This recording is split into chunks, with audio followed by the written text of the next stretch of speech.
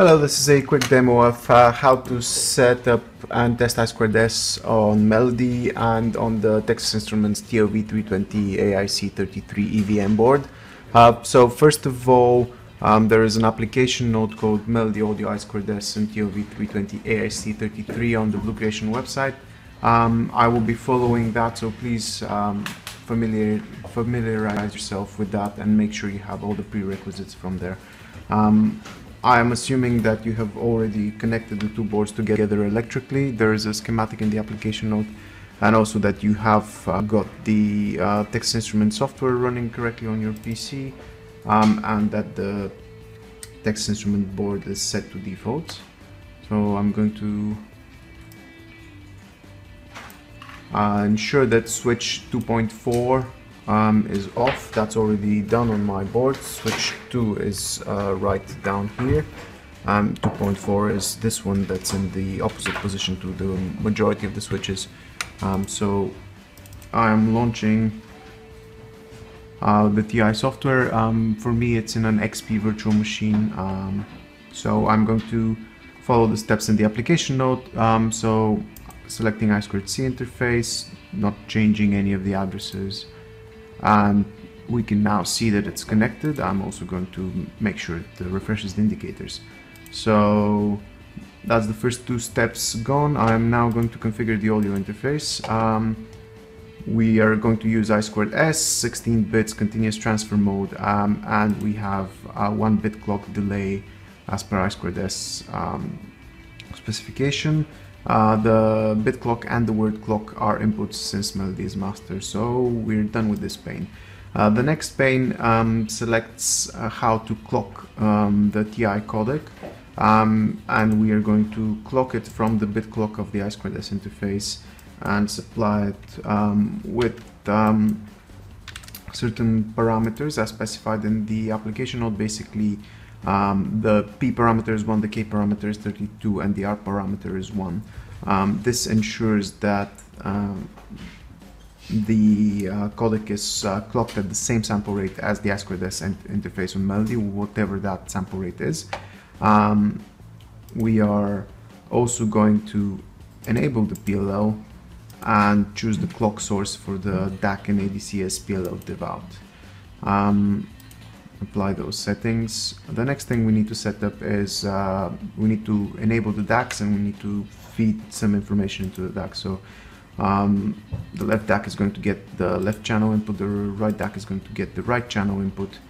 Um, I'm going to slave the two gain levels and I'm going to just put it to some positive value. Um, select um, the output path to left high power output driver on both um, then enable both. Um, that enables the DACs and we can uh, now go to the high power outputs and configure those. Um, what we need to do is we need to enable the first interface uh, the HPL output uh, uh, for the HPL COM set it to differential to HPL out and then disable it. Um, also enable the HPR output and for the HPR COM set the differential to HPR out and disable it. Um, now you need to set some volume on your outputs. Um, they don't need to be the same, but it's nice to be able to hear what music is uh, playing. So Melody is already configured to use uh, audio equals 3, so I2S master 44 uh, kilohertz and the default I2S compliant configuration for I2S and it's prepared to my phone. So when I connect my phone to Melody,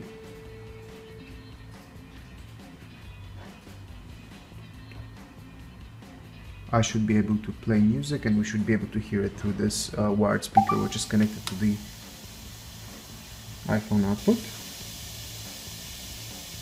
I think the gains might be a bit too much.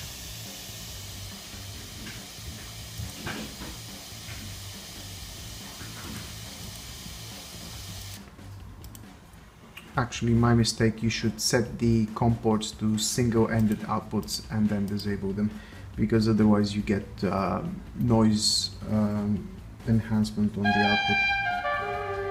So as you can hear I'm I'm playing a song from my phone um, and it's being played back through here. Now I can show you melody status